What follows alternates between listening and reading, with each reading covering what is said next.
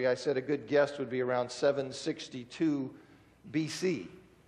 Now, in chapter 1, verse 3 through chapter 2, verse 5, he pronounces judgment on these nations surrounding Israel. So, the target where he's going to be focusing is the northern kingdom of Israel. And I put the map up the first couple of weeks. But he starts off with oracles of judgment against all of the nations around Israel. And you can just see this that he, he doesn't spend much time doing that compared to what he's going to say to Israel. But you can just see the people in the northern kingdom as he's prophesying this way, just saying, yeah, that's right. You know, the Edomites really need, they need to get it. The Phoenicians need it. The Philistines need it. You know, that's right, that's right, that's right. And then he turns his attention to the northern kingdom of, of Israel. Uh, he does that. If the first oracle in, in chapter 2, verse 6 through chapter 6, verse 14, all of that he delivers oracles of judgment against the northern kingdom of Israel. Now, the first oracle of doom is given in chapter 2, verses 6 through 16. And he tells them in chapter 2, verse 6 through 8, that they're guilty of having abused and exploited the poor and the underprivileged. You remember that Israel at this time, I mean, the good times were rolling. Israel was wealthy. Uh, they had, uh, in fact, they have recovered uh, some ivory from, it was from a time earlier than that, from Samaria, but, but there was a lot of wealth.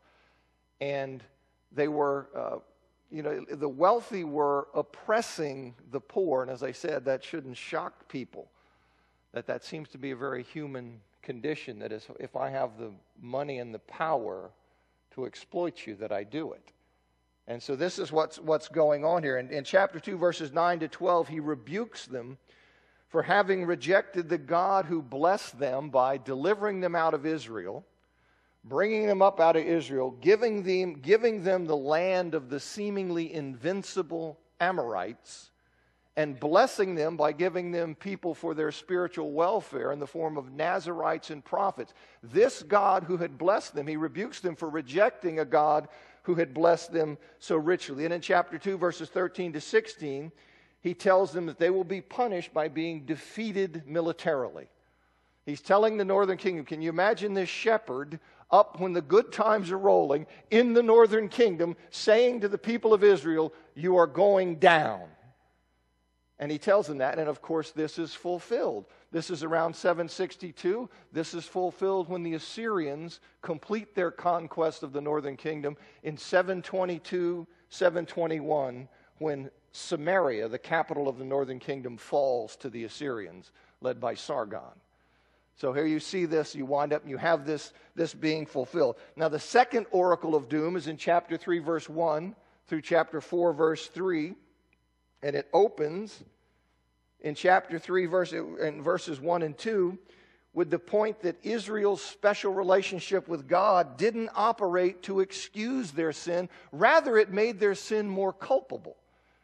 And that's this where you, you, you see in chapter in verse 2 it says, You only have I known of all the families of earth, therefore I will punish you for all your iniquities. You know, we'd be sitting there going, You only have I known. You have an intimate relationship with me. You are my covenant partners. Therefore, I will excuse your sin. He doesn't say that.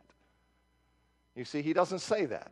He says, Therefore, I will punish you for all your iniquities. See, to be God's elect is a position of responsibility.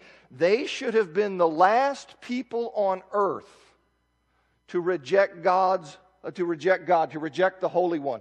They were in relationship with him. He had blessed them richly. They were his people. We had a bond.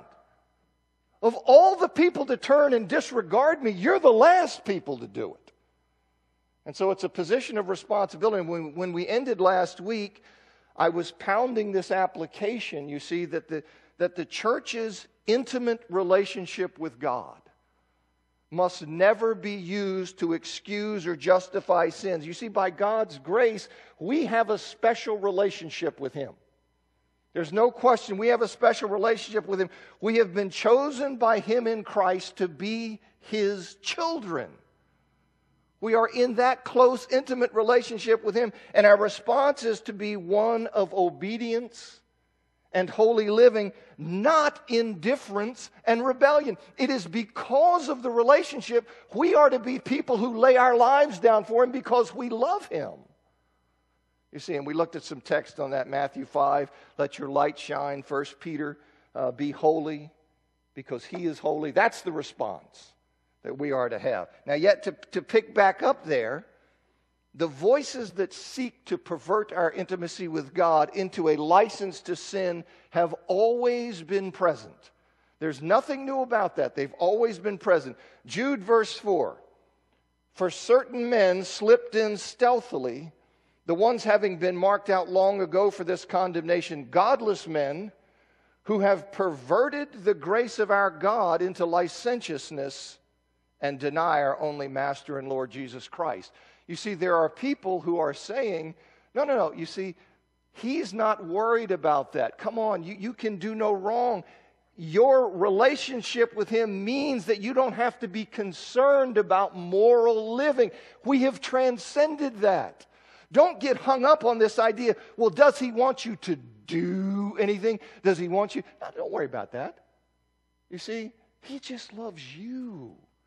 You see, there have always been these voices. You can see it here in 2 Peter chapter 2, 1 and 2. He says, But there were also false prophets among the people, as there will also be false teachers among you, who will secretly bring in destructive heresies, even denying the master who bought them, bringing swift destruction on themselves, and many will follow their licentious acts.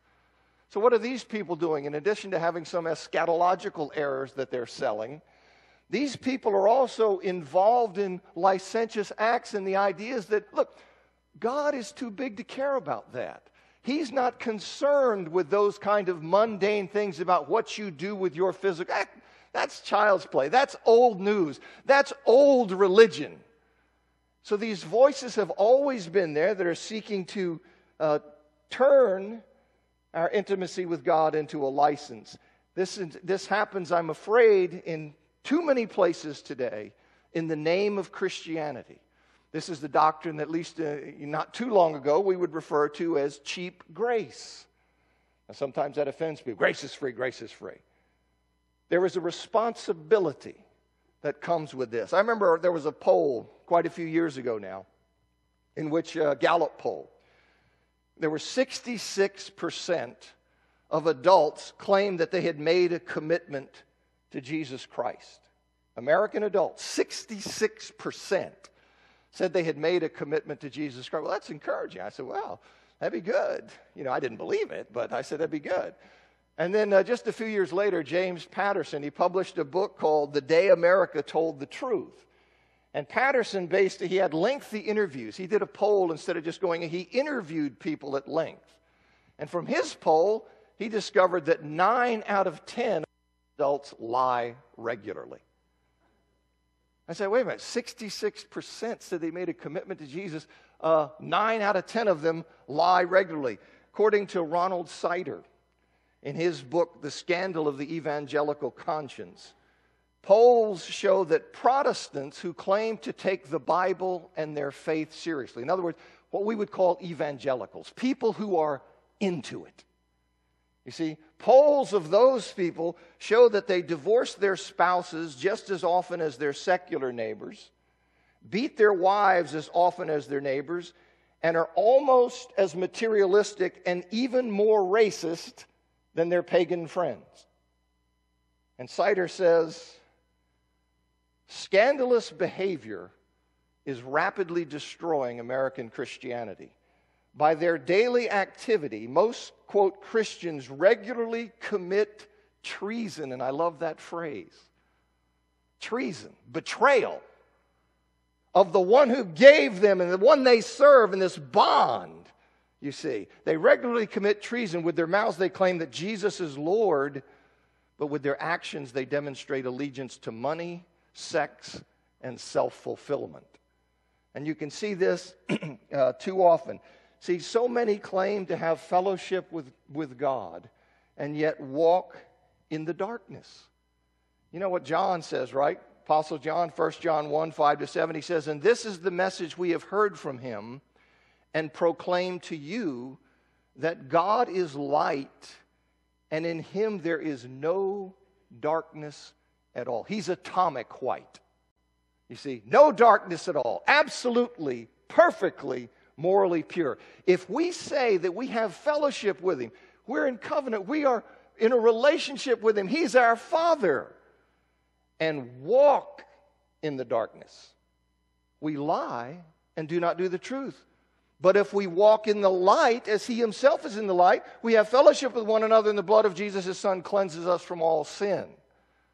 You see, there is this sense of living the truth of our faith, living consistently with it. See, I'm not talking about legalism. I'm not talking about one's righteousness being earned by how one lives or performs. You see, whenever, whenever you talk about the moral responsibility to the love of God, you always have to check yourself because someone will say, You're harping on works, you're a legalist. And I just sit there and I say, You don't understand what legalism is about. You see, this has nothing to do with the concept of I'm going to gain my standing with God by my performance, by my works. I can never do that. Everybody who can read the Bible understands I can never do that. The question is does my faith carry with it some obedience and some response? I'm not talking about legalism. I'm talking about what Amos and Jesus and John and the other inspired writers are talking about the fact that biblical faith is the yes of the total person, not simply the assent of his mind. It is a yes of the total person, including a surrender of the will. Dietrich Bonhoeffer, I've read this quote a number of times to you. Dietrich Bonhoeffer was a Lutheran pastor. He was executed by the Nazis shortly before the Allies came in and liberated Germany.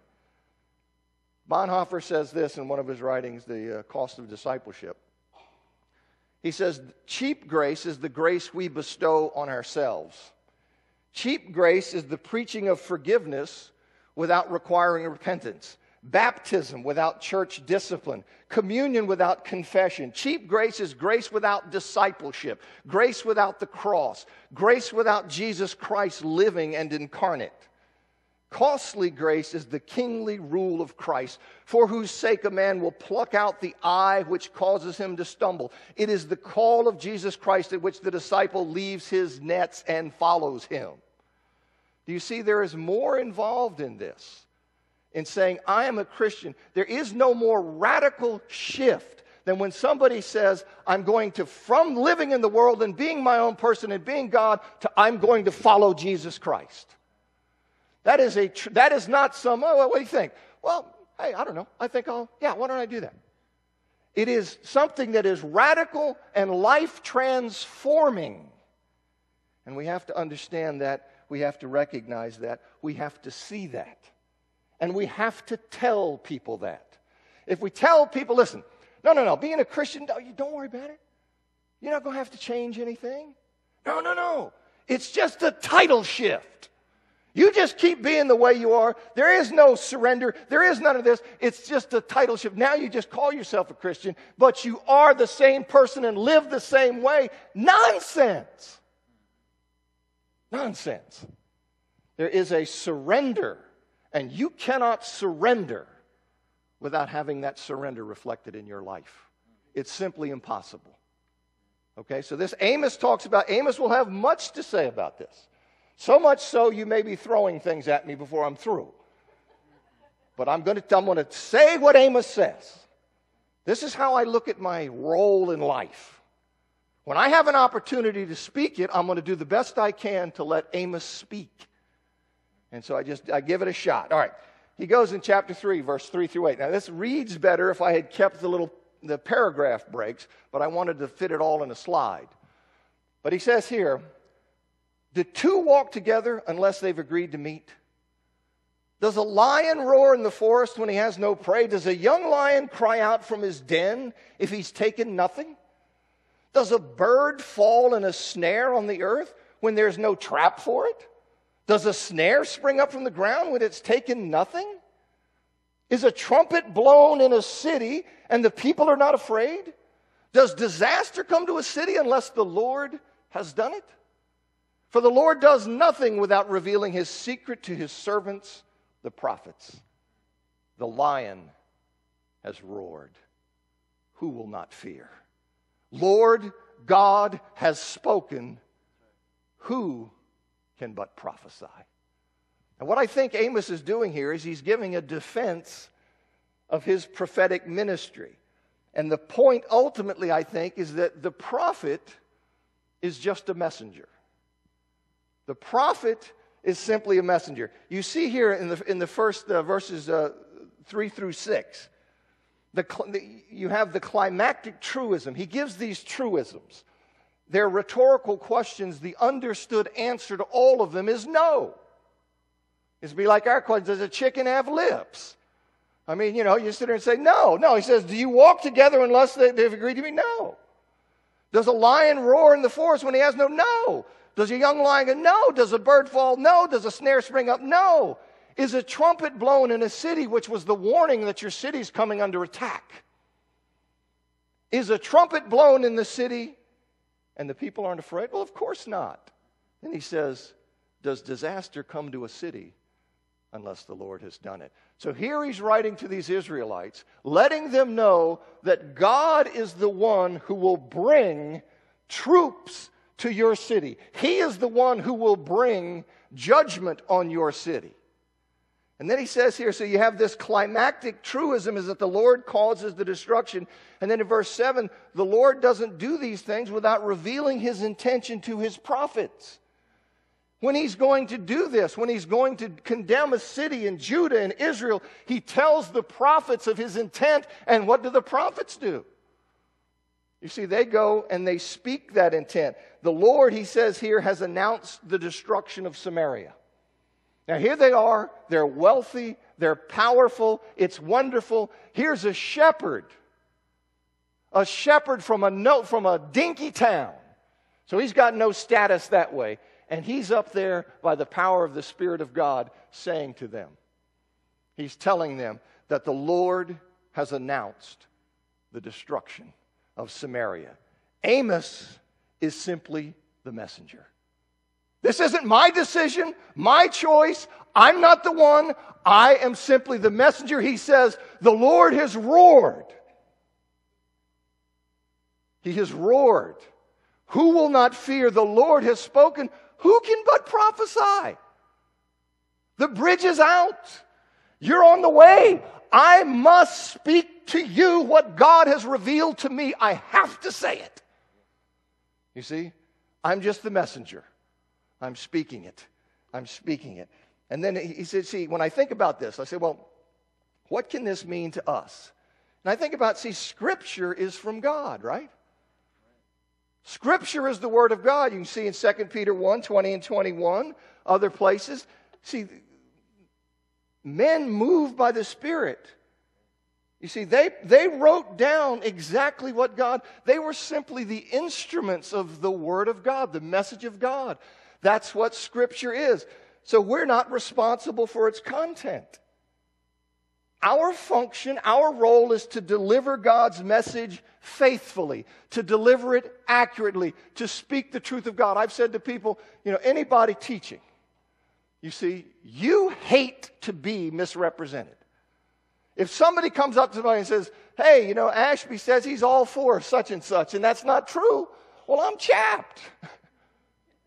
I don't like somebody to be saying this is what he thinks and believes and feels when it's not true because he's misrepresenting me. Well, we who speak, you see, we have to be careful. Now, are we sinful, fallible? Yes, yes, yes. Do we make mistakes? Yes. Do I fully expect that on that day the Lord will go to me, you know, you thought you knew this, didn't you? Yeah, I did. Well, you were wrong. Okay, I'm certain that's going to happen. But we have a responsibility, see, to work, to really try not to misrepresent God, and that's what we do. And we must not distort the message, you see, to make it more pleasing to our hearers, and that is a tremendous temptation. It is a tremendous temptation to change the message so I will make it something you will like more. You say, well, no. Either you'll say, oh, that was really great. Or like, look, I'm trying to say what this says. If it bums you out, my question is did I say what it said? You see, that's it. Did I say what it said? Now, if I'm wrong about, you know, if I didn't say what it said, well, then I'm bummed. you see, but this idea, this, the, the, if we start to do this thing, say, well, let me think about this. Uh, you know, I think that uh, people would like this, and, you know, just stay off of that and do no good. you see, we have to just present the Word of God, and we let the chips fall where they may. You know, I think about people in, in the world here who, with the truth of discipleship, what I was talking about before, the idea that, no, no, no, look, look, just kind of uh, come into Christianity without any difference at all. No, no, no, you just come in, hang out with us a little bit, and, you know, and, and then maybe, yeah, come on, why don't you just join us? Why? Because we're nice people and you'd like to hang out with us and we have potlucks and we have this kind of thing. Like potlucks, okay? Not condemning potlucks. I'm just saying, you see, the idea, do that for these kinds of reasons. Why not? You see, and what somebody has to come to see is that Christ who died for them. They have to come to see that. That I am lost and He is my redemption and He has paid the price and I will give Him everything in my life. I surrender to Him and if He puts His finger on something in my life and says, that's got to go, it's gone. Well, somebody say, wait a minute. I didn't know about all that. Are you telling me that to give my life to Christ, that means that I'm going to have to quit doing this and this and this and start doing this and this? And yes. Well, I don't know if I want that. Well, see, it's that point which many times, oh, no, no. You don't, you don't want to, no, no, no. You don't want to. You remember when Jesus is talking, he gives them hard teaching. He said, This is hard teaching. Who can accept it? And he says, Here you have some of his disciples leaving him. And he turns to them and he just sits there and says to them, Hey, you going to go too? He doesn't sit there and go, Wait, wait. I didn't mean for it to be so hard when I'm talking about you have to eat my flesh and drink my blood. I didn't mean it. Because I didn't know that would actually offend you and cause you to leave me. He just said, You going to go too?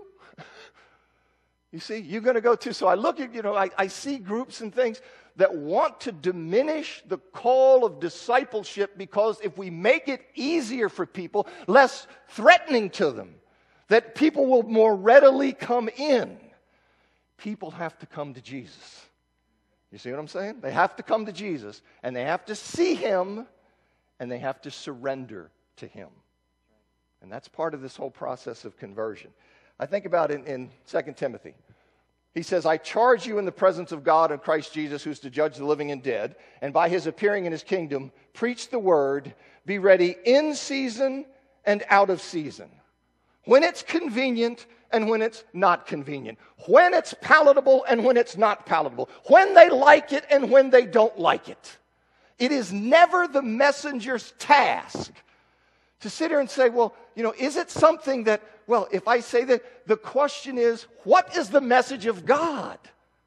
And you present it. You present that message. And then you trust that God will use through His Spirit the message that is presented. And what you have here going on, He's telling, listen, uh, they're silencing prophets up there. And we'll see that. We already saw that in one place, and we'll see it again.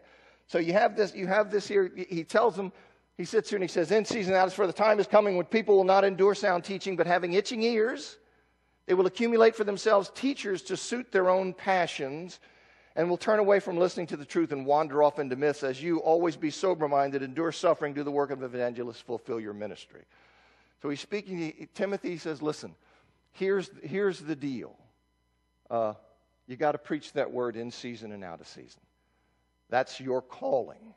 That is what you are to do. Now, he says in, in verses 9 and 10 of Amos chapter 3, he says, Proclaim to the strongholds in Ashdod. Now, there's a textual question. This may originally say Assyria. Okay, so Ashdod or Assyria, but he says, Proclaim to the strongholds in Ashdod and to the strongholds in the land of Egypt. Okay, Ashdod or Assyria and Egypt, pagan places. He says, Proclaim in these strongholds, say there, Assemble yourselves on the mountains of Samaria. Well, Samaria is the capital of the northern kingdom, the capital of Israel. He wants the pagans to gather at Samaria. Tell them, assemble yourselves on the mountains of Samaria and see the great tumult within her and the oppressed in her midst. What's he after him about? You have depressed, you have, you have oppressed the poor, the underprivileged. You have abused and you have exploited them. He's calling pagans to come and see in Samaria what's going on. He calls them as witnesses. He says, They do not know how to do right, declares the Lord, those who store up violence and robbery in their strongholds. He calls the world, see, even the world that doesn't possess or accept the guidance of Scripture knows better than to act like Samaria. He can call pagans to look at what Samaria is doing. Look how they're treating people. And the pagans would blush at this. The pagans would wind up blushing, even though they don't have the guidance of Scripture. See, the, the, the Israelites, they had lost their sense of what's honest and decent and just and proper. Just generally, just the normal understanding of right and wrong that's inherent in human beings being in the image of God. They had lost even that. That you could call as witnesses against them pagan nations. And I think, you know, it's, it's simply an outrage for the people of God with their high calling to sink to a lifestyle beneath the world. You say, well, that'll never happen. Well, you remember 1 Corinthians 5? You had a guy who's with his, with his uh, father's wife. It's just something even the pagans throw up about. Those are my words, not his, but that's the same sentiment. even the pagans would look at that and say that's ridiculous. You know, and our world's gotten to the point now, what could you point to? you see, what could you point to? You can still point to some things. You can point to people who take child abusers and hide them and shuttle them off somewhere else so they can harm other children for the sake of the institution. You see, you, you, can find things, but the point is, is that given our high calling, you see, it's just something terrible to sink to a lifestyle beneath the world. We must never do. We're to live above the world in terms of morality and ethics. We are to be examples. We are to be exemplary. You know, and the danger when you try to live your life that way. The world is hostile. The world will attack you, and the world will say, Oh, you think you're so good. You're trying to be self righteous. No, I'm trying to be faithful to Christ. That's what I'm trying to be. And that's just see, an attempt to bully you off of that. Oh, no, well, I'm sorry that I'm trying to do right, and I don't want to go get drunk with you or fall into fornication or whatever it is going on that you think's cool and you're trying to get me to do. No, no, no, okay. No, I'm trying to be right. And if that makes you feel bad, what can I say? What can I say? I'm going to be faithful. I'm, that's what I'm trying to do. I'm trying to be faithful. He states their punishment in chapter 3, verse 11. He says, Therefore, thus says the Lord God, an adversary shall surround the land and bring down your defenses from you, and your strongholds shall be plundered. Now, you got to see these people looking at the shepherd. and he's in there just telling them, You're going down. You're absolutely going down. He states their punishment, and then he elaborates on their punishment. He says in, in 312 to 15, really, I'd read 12 separately, but so that's why I just broke the paragraph there. He says, Thus says the Lord. As the shepherd rescues from the mouth of the lion two legs and a piece of an ear, so shall the people of Israel who dwell in Samaria be rescued, with the corner of a couch and a part of a bed. That's how it's going to be scraps, remnants. This judgment that is coming is going to be serious business. You see, you're going to be decimated. He says, Hear and testify against the house of Jacob, declares the Lord, the God of hosts that on the day I punish Israel for his transgressions, I will punish the altars of Bethel, and the horns of the altar shall be cut off and fall to the ground. I will strike the winter house along with the summer house, and the houses of ivory shall perish, and the great houses shall come to an end, declares the Lord. You see, these people who are really living high, Now, is he condemning wealth per se? No. What he's condemning is the fact that the wealthy, how do they treat and exploit and trample the poor and cheat them and do bribes to build up their own estate? You see, they're in absolutely in love with money. You see, the things here on you see first in, in 12, there's only going to be a remnant left, just scraps. And then in 13 to 15, the things on which they base their security, you see, the things in which they place their hope.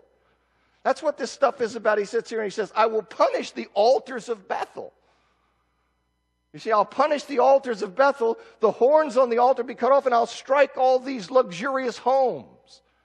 Well, what's that about? You see, it's the, the things in which they base their security, the things in which they place their hope. What is that? It is their heartless, religious ritual. He's going to have much more to say about that.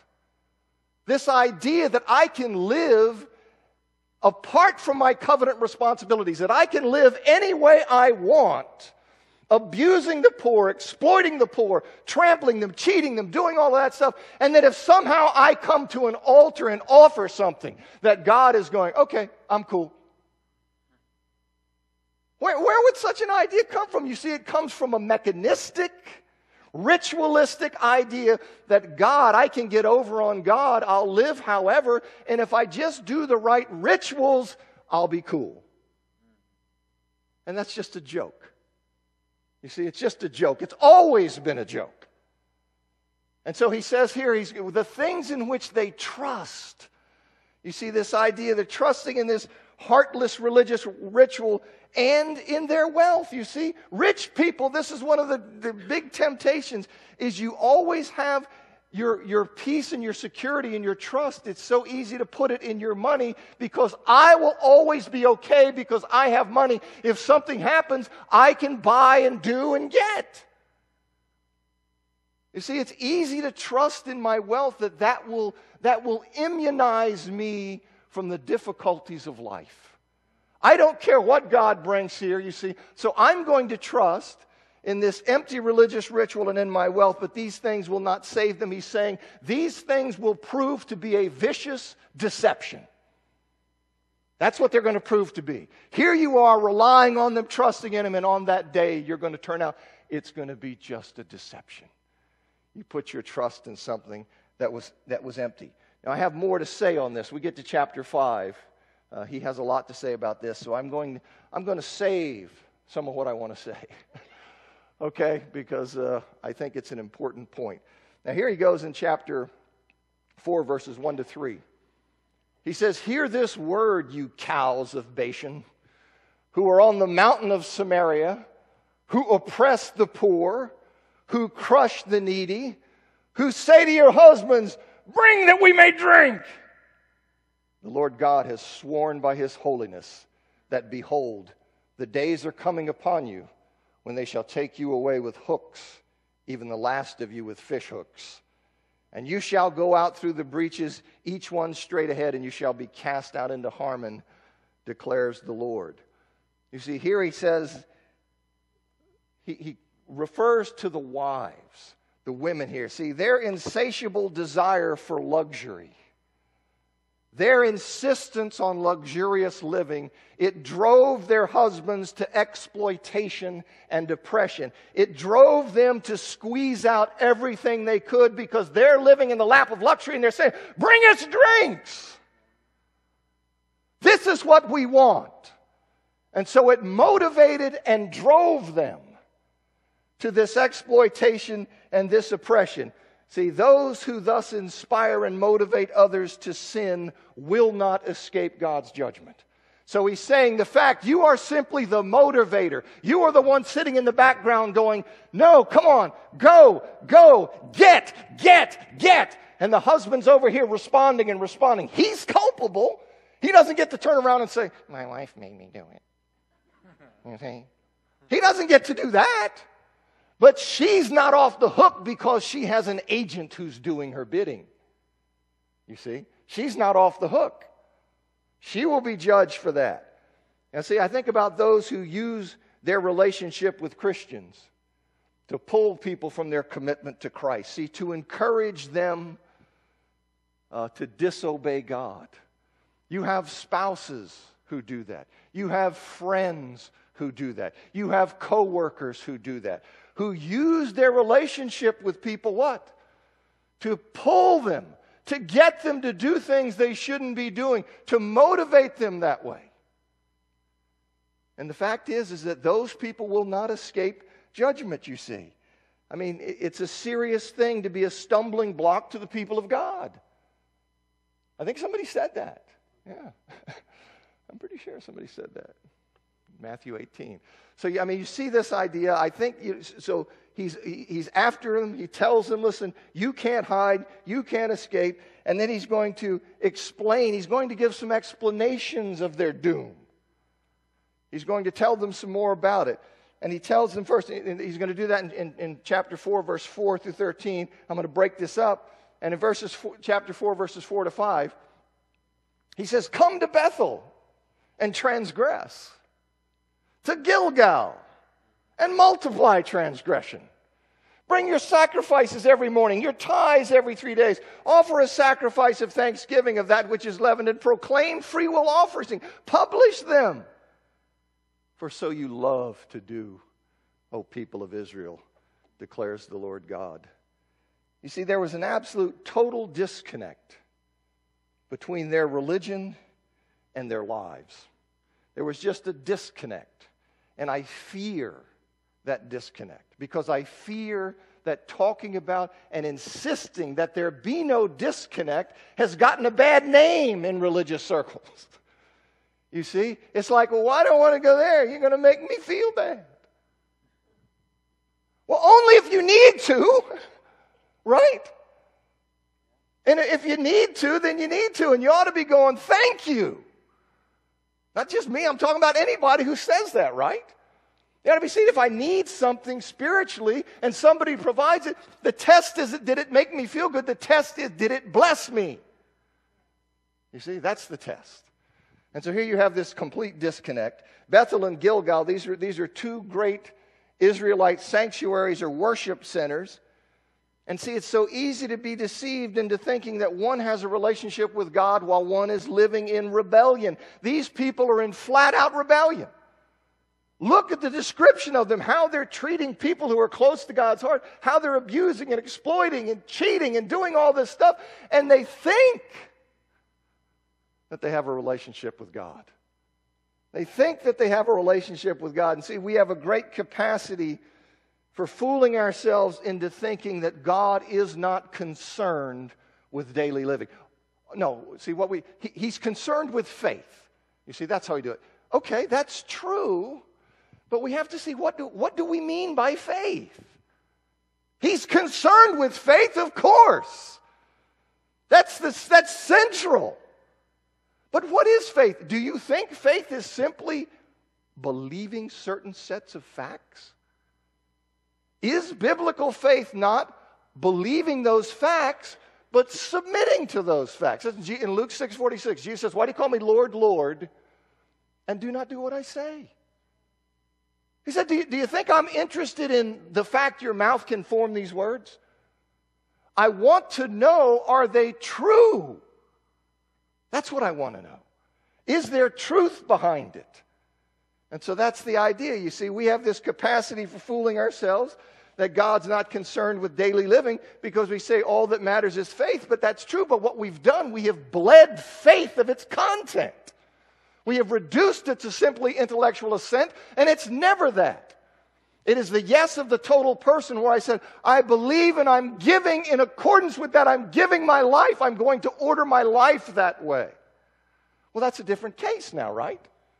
Now you have a much different thing about saying, well, how I, I, can just divorce life. Life doesn't have anything to do with my being a Christian. God doesn't care about how I live. How can you say that?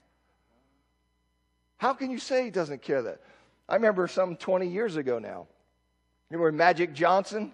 contracted HIV from having sex with hundreds of women. And I remember watching him on Arsenio Hall.